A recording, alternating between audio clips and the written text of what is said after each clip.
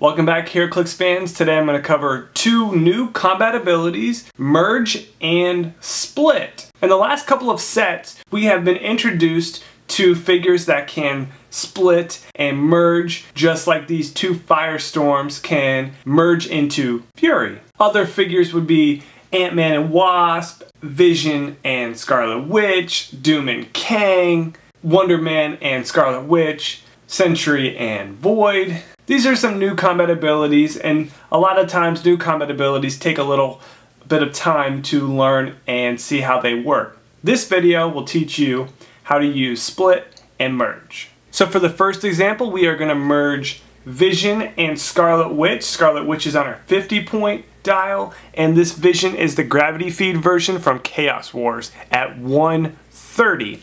The combined total is 180. Let's read merge.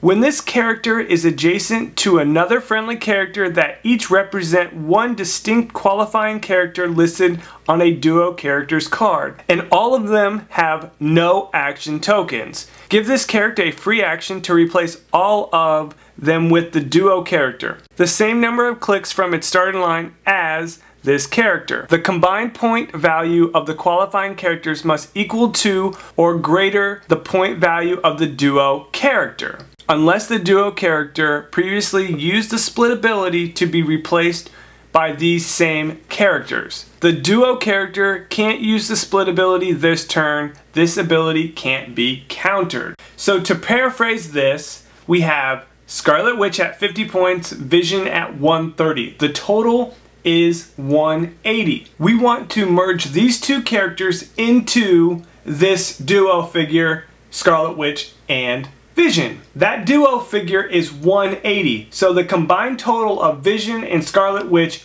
equal to that duo figure. So these two figures are allowed to merge into this duo figure. So let's perform this merge combat ability. And it only can be done when they have no tokens on both characters and both characters need to be adjacent to one another. They both have no tokens, so they can do this. Give Vision a free action and then replace these two figures with the duo figure. The duo figure comes into the game on the same click as the figure you activate the power with. Vision was on his first click, so the duo figure comes in on its first click. Also, I want to note, if you activate this power with Vision and say he's on his third click, then the duo figure will come in on its third click. So you want to activate this power with the character that's on its first click or nearest the top of its dial. To give a second example of the merge combat ability, Ant-Man at 43 points and Wasp at 50 points equals 93 points. Can they merge into the Ant-Man and Wasp duo figure that is 168? If you said no they can't, then you are correct. The two figures that merge into the duo figure have to exceed or equal the amount of the duo figure.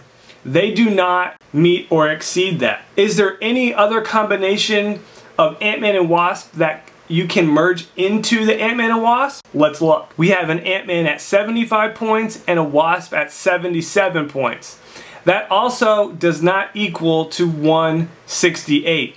So these figures will not be able to merge as well. But I want to note, when you read the merge ability, it does say the only way that these two Ant-Man and Wasp figures can merge into this Ant-Man and Wasp duo figure is if previously this Ant-Man and Wasp duo figure split into these two figures and then later on these two figures can then merge back into this figure. But as it is, they can't start out this way. Another thing that I want to cover is when you activate the merge into Fury with the two Firestorms, it is a free action. So you would give either one of these Firestorms the free action and then you would merge. Now with Fury on the map and it was a free action to get him in there, he now is able to be given a power action and Fury will now pulse wave on Ant-Man and Wasp.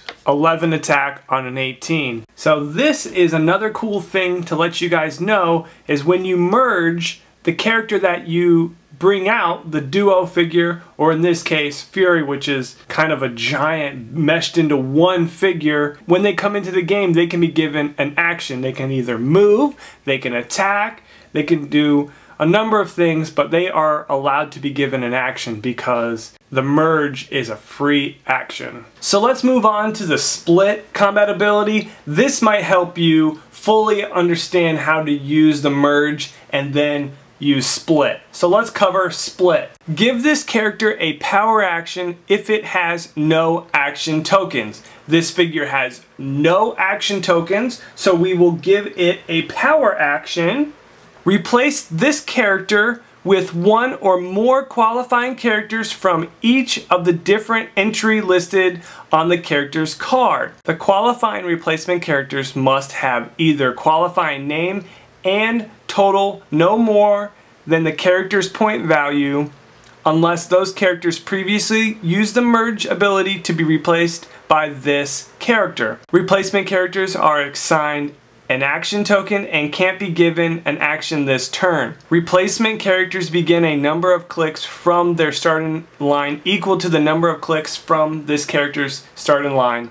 This ability can't be countered. So we gave Fury a power action to use the split. Now we bring in both of the Firestorms that he split into. They each now have an action token and cannot be given an action token this turn. And they come in on their dial wherever Fury left off. He left off on his first click, so they both come in on their first click. If he left on their second click, they both would come in on their second click.